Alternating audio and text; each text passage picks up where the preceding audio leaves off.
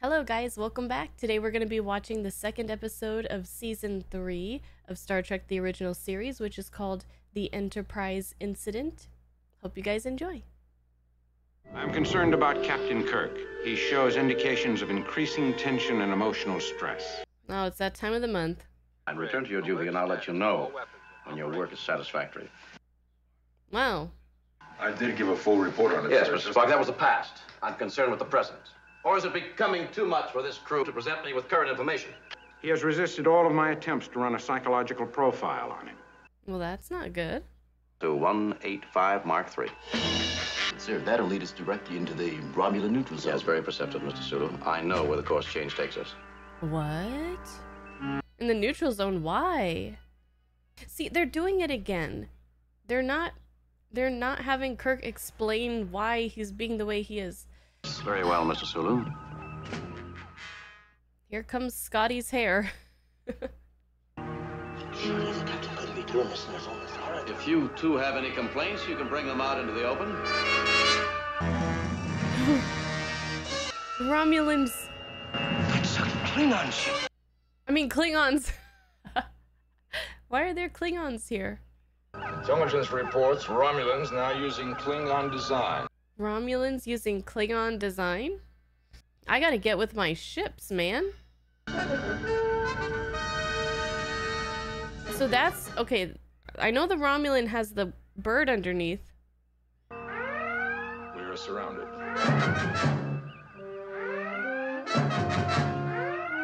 Okay, well, they've definitely got me interested right off the bat. Like, what the heck is going on here? And is it really the Klingon? Wait, the Romulans using Klingon style vessels? Or is it Romulans and Klingons? Maybe I misunderstood. Maybe they're working together now? Mr. Spock, your sensors read clear. What happened? I have a theory, Captain. Captain Kirk, Wonder what Spock was gonna say. Your ship is surrounded, Captain. You will surrender immediately, or we will destroy you. They want something. Or they would have destroyed us by now. But why are we here? It's my ship they want, and very badly. It would be a great prize.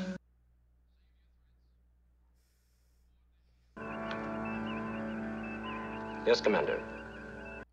Chekhov's like, what the heck's going on?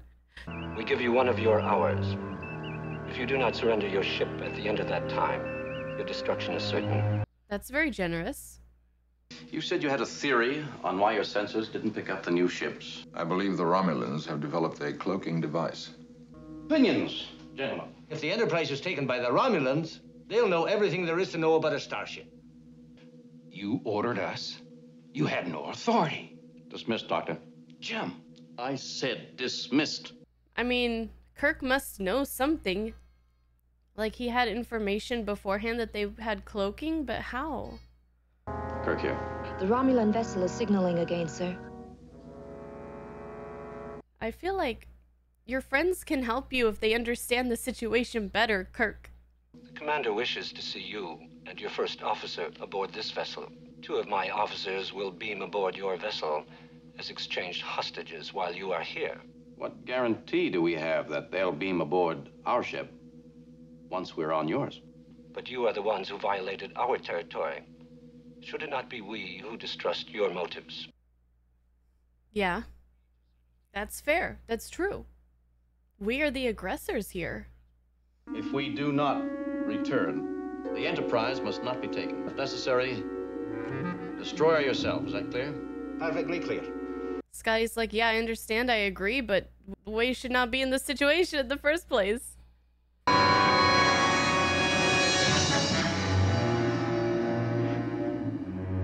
Don't even try it. Couldn't those, I mean, shouldn't they have more security up there? Oh, hello. Commander, Was not expecting that. I'm on it. Oh, this is why he came. I'm just kidding. You are the first officer. Spock. You may wait outside. The matter of trespass into Romulan space is one of galactic import. Mm-hmm. What is your mission here? Instrument failure caused navigational error. He's lying to me. Kirk, tell me the truth. Accidents can happen. Cut off, backup systems can malfunction. We were due for an overhaul two months ago. But I doubt if it will clear you of espionage.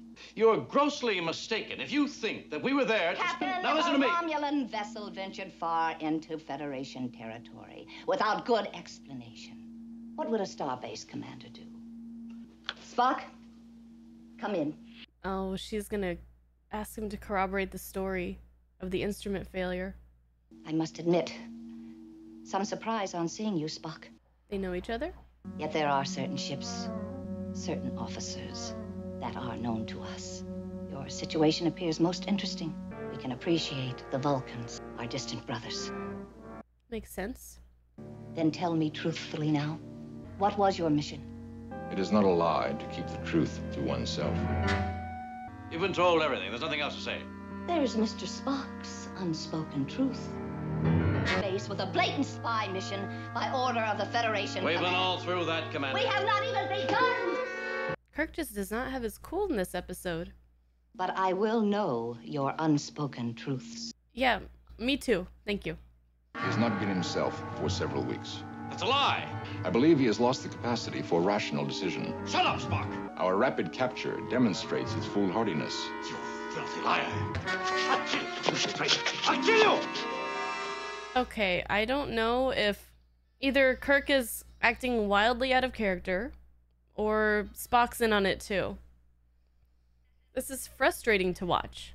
First Officer Spock's testimony was specific that your ship was not under orders from Starfleet Command or the Federation Council. Therefore, I am ordering Engineer Scott, presently in command of the Enterprise, to follow the Romulan flagship. Okay, Channel is open, Mr. Scott, and you are tied in. what are you gonna do, Scotty? The Enterprise takes no orders except those of Captain Kirk. And if you make any attempt to board or commandeer the Enterprise, it will be blown to bits. There are ways to convince you of your errors. I love her.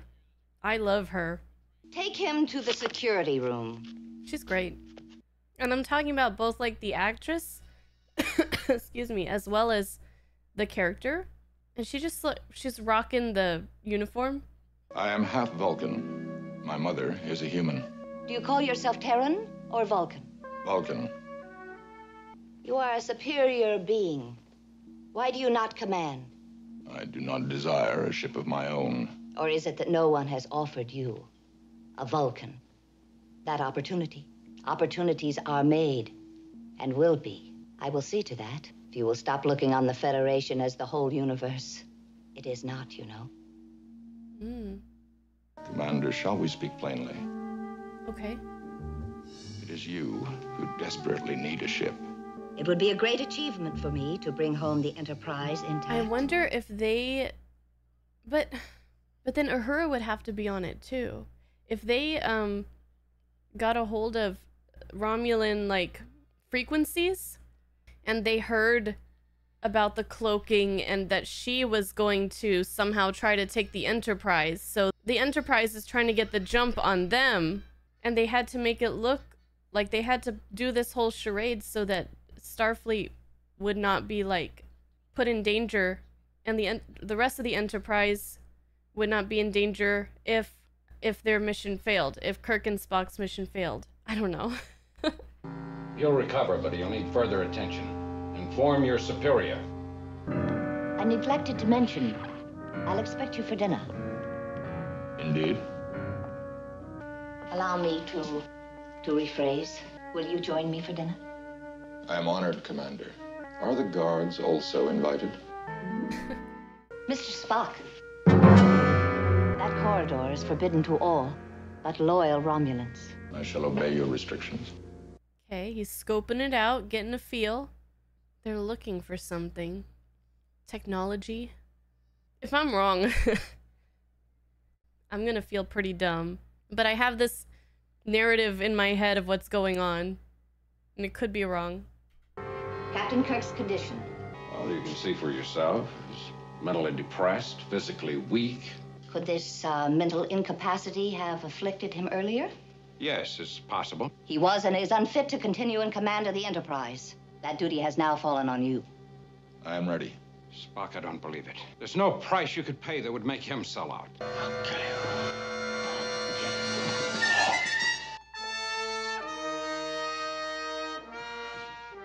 did you do? Bones isn't in on it. If there's something to be in on. I instinctively used the Vulcan death grip. Your instincts are still good, Mr. Spock. The captain is dead. Wow. We've never seen the death grip used. He's like a dead possum on the side of the road. we, I don't think we've seen it used until now, and it was Spock on Kirk. That's crazy.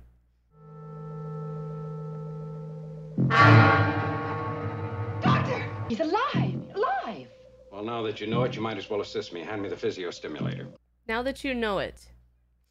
Bones was in on Gave him a nerve pinch to simulate death. And you knew that all the time, and you didn't. I didn't know it until I beamed aboard the Romulan ship. Jim and Spock were operating under Federation orders.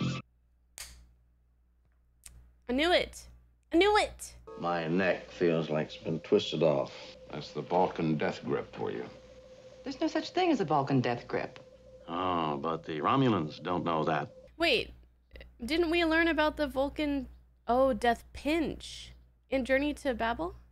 Keep the Enterprise and the Federation off the hook. Yes, exactly. So that But- if anything went wrong, you would be the one to blame. oh, so if it came from Starfleet, then Starfleet maybe got a hold of Romulan um, stuff. So Uhura wouldn't have like intercepted the message. I can't leave a bridge at a time like this. You have to. It's urgent. We're surrounded by enemy vessels ready to attack us. I don't know of anything more urgent than that. it better be important. What? Captain Kirk. yes. yes. What's it all about?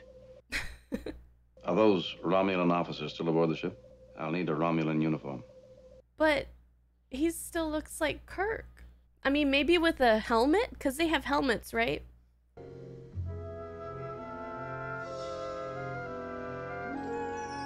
So Kirk is gonna use his disguise to get into that forbidden room. What the devil is Spock doing? What's delaying him? Uh, he needs a helmet. I wish I knew. Prepare to beam me aboard the flagship. But Mr. Spock hasn't set the proper coordinates yet. Can't be helped, Scotty. You're taking an awful chance, Jim. Centurion, I'm sorry, no one is I have just to- effected an escape from the Federation vessel. Centurion? What? They don't know who the Centurion. I mean, I know it's like a important title, right? We will find a place for you. If you wish it. With me. Romulan women are not like Vulcan females. We are not dedicated to pure logic. And you think that he's interested in that? If he was, he'd be all over Nurse Chapel. But we are also many other pleasant things. Is she trying to appeal to his human side? As a Vulcan, you would study it. As a human, you would find ways to appreciate it. I do appreciate it. I am so glad. You will lead a small party of Romulans aboard the Enterprise. And there you will take your rightful place as its commander. Yes, of course. But not just this moment. You do know I have a first name. I think she does like him. Would you like to hear it?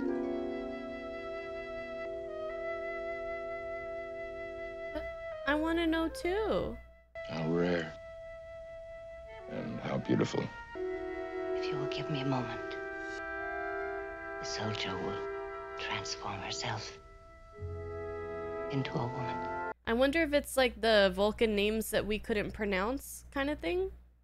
I'm already on board, Spock. Do you have the information? Yes, Captain. The cloaking device is in an area near the commander's quarters. Subcommander Tal. I'm receiving an alien transmission from within our vessel, sir. I must know the source. Right in the ribbon now, sir.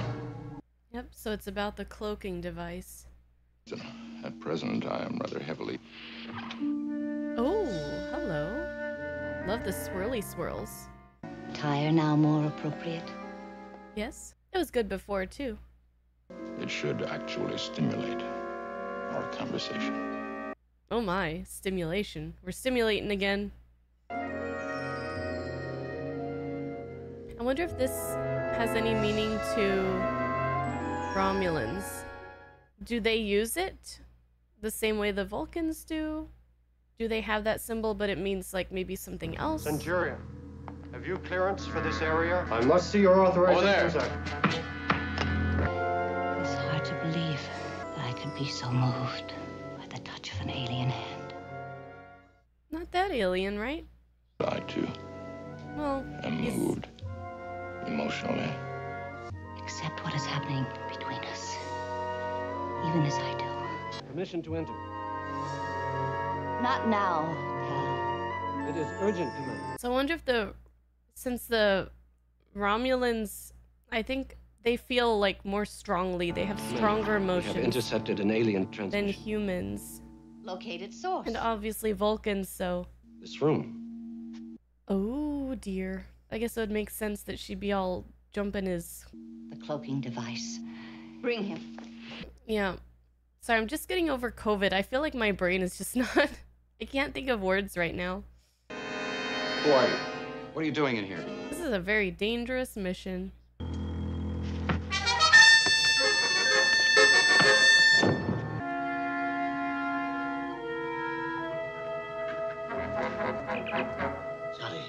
Energize.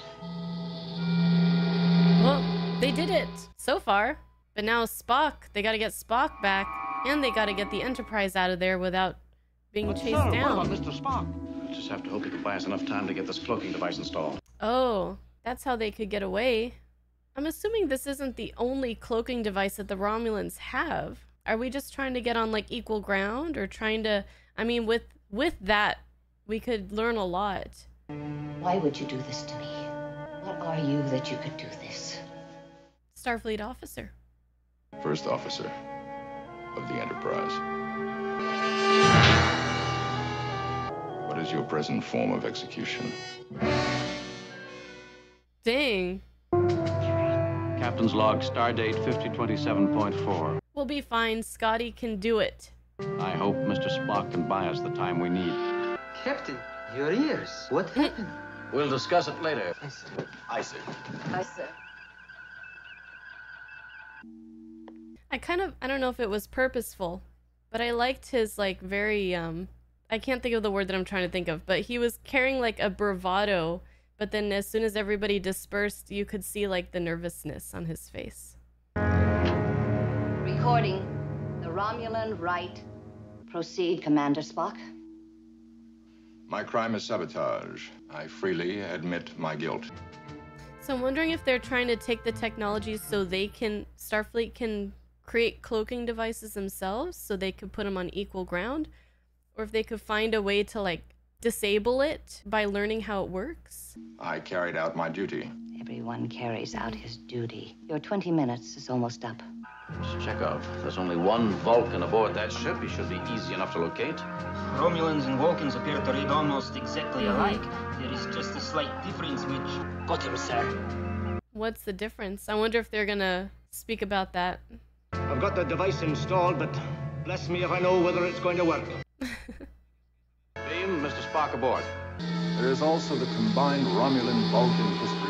of obedience. Oh, she's coming with. Transporter room reports Mr. Spock aboard, sir, and the Romulan commander.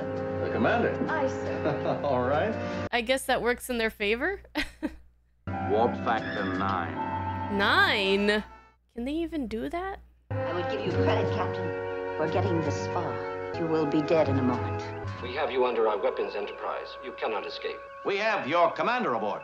Commander, Destroy this vessel. Scotty, we're running out of time. Captain, I'm working as fast as I can. Your effort is being wasted. He's looking a little nervous now.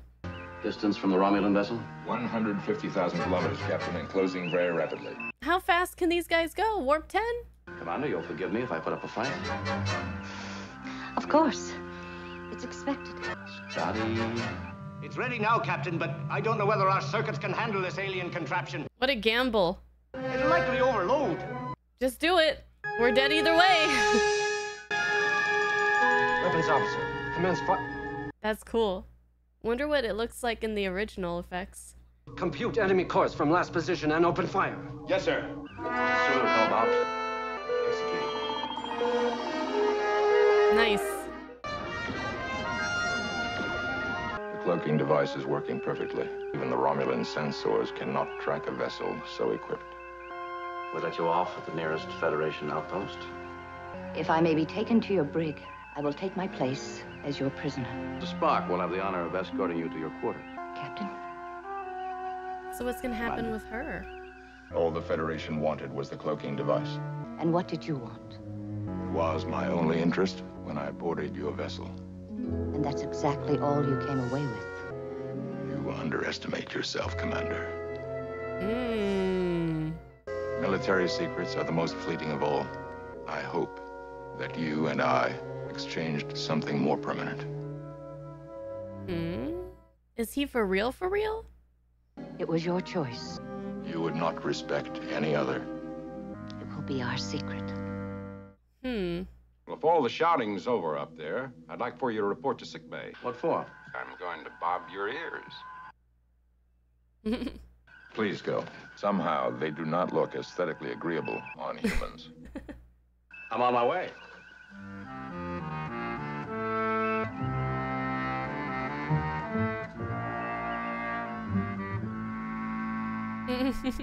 okay.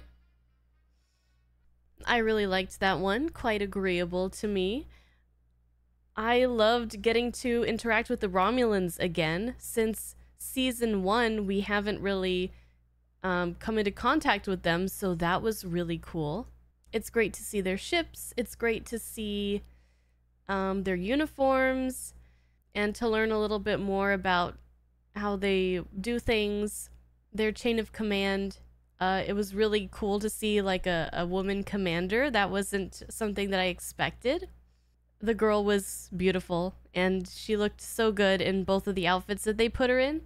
And I noticed that Miss Fontana likes to put Spock in situations where his romantic feelings can kind of come to the surface. I'm thinking of like this side of paradise specifically. And with Journey to Babel, she seems to like to explore kind of like the Vulcan versus human um, sides of Spock, kind of conflicting with each other. I thought this episode had a really good hook. It really got me curious right from the beginning and guessing as to what was going on for quite a long time as far as what are Kirk's reasons for going into the neutral zone? Who's in on it? Is he really going crazy or is it just an act? I guess one thing that I am curious about and would like you guys to explain to me a little bit more is the role or the rank of Centurion. And I don't remember if you guys really explained it in depth, but from the um, episode Balance of Terror, there was the Centurion that was on the vessel, the Romulan vessel, and he was like very old. And Centurion, a century, a hundred years, um, since Vulcans live for a long time, I don't know if it would be worth to note that somebody is a 100 years because I'm not really sure how old they actually get. Like maybe a 100 is kind of young to them still. So is Centurion somebody who is a 100 years or somebody who's been in the service for a 100 years is what I would assume. But like in the Romulan arm, army or whatever it is. But I felt like it was a very esteemed rank or role that would be very uncommon. But this episode leads me to believe that it's something more common, that it's not something so rare or important that you would easily know like all the centurions that are aboard your vessel and what they look like and what their names are. Looking back, I do see that one of the Romulans that they beamed aboard as the other as like the hostages is wearing that like uniform that Kirk had with the sash. So that guy that they brought aboard was a centurion. He doesn't look really old like the other one did in Balance to Terror, Balance of Balance of Terror. So yeah, I would love to learn more about centurions. And then also, gosh, I'm just questioning like my prior knowledge of like these episodes and my understanding. So in Journey to Babel, it was the Vulcan neck neck pinch, death pinch? No. Vulcan neck pinch. So at first I thought that we were seeing what they were talking about in Journey to Babel, but I guess they're two separate things because the Vulcan death grab doesn't exist, but the Vulcan neck pinch does, and that's what they use to execute. And I guess one more thing that this episode has me thinking about is Spock's relationship with the Romulan commander. And the only times we've really seen Spock go against like his logical side and go more towards his emotional side with regards to like a romantic um, relationship that I can think of is again the side of paradise where he was under the influence of that plant and amok time where he was under the influence of that virus. And it seems that he was actually weakened by this the allure of this romulan lady. And so i wonder what that's about. Like why? Why her? Do romulans have these kind of characteristics that are exciting to spock because physically like biologically he has a lot in common with them and then emotionally they're kind of more like human like his human side? So like the vulcans physically are like his vulcan side and then humans are emotionally like his human side but romulans are kind of like a mix of the two kind of like he is a mix of the two i wonder if that had anything to do with it i'm probably overthinking it but i'm just i want to understand because i want to kind of have an idea in my head that makes sense to me even if it's not true or proven. And I'm sure everybody has their own head canon, or maybe there's been some kind of official uh, way to know exactly what's going on here, like why he was into her. But it's just rare that he would be into somebody without being under the influence of something else. And maybe I missed it. Maybe they mentioned what um, they were going to do with her afterwards. I guess it's probably safe to assume that they would uh, eventually arrange, Starfleet would arrange for her to get transported back to the Romulan side, but I don't know. They didn't really say, I don't think, so I'm kind of curious about what's going to happen to her after this, but I guess that wasn't important or they didn't have enough time to kind of um, go into that in the episode. Oh yeah, and we got to see Kirk looking like a Romulan slash Vulcan with the ears and the eyebrows, which was pretty interesting yeah, overall, I really enjoyed this one.